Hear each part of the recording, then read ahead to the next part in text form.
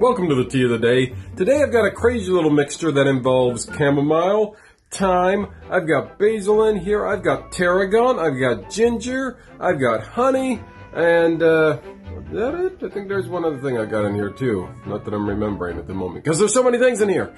But uh, the reason is, hmm, they're all good antihistamines, and I get this weird skin condition called chronic urticaria, which makes me break out and itch like crazy. It makes working out really tough.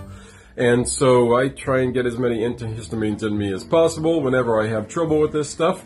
Um, also, that is things that are supposed to be good for this are echinacea, fennel, and nettle is supposed to be really good. Stinging nettle. So there you go. Any antihistamines, take them in.